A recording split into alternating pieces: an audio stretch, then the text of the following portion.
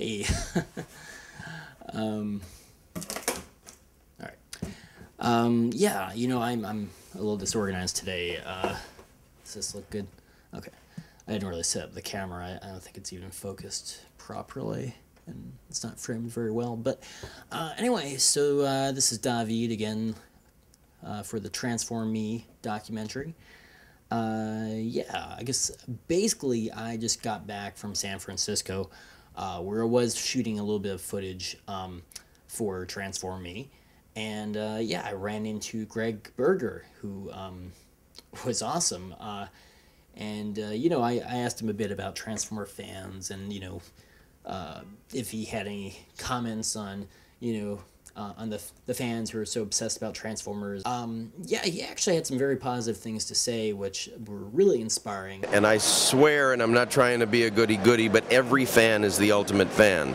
With the time span that has changed, with the loyalty that people have afforded this show, this generation of this show, it blows my mind. It drops my jaw.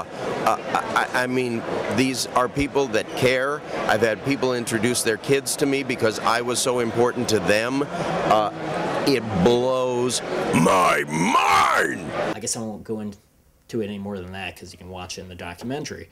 Okay. Can't see, there's a box like hitting me on the head here.